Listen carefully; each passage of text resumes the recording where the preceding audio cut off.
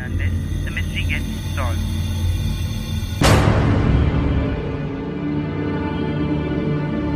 All the communication services and networks fields are that particular radius. So listeners, beware of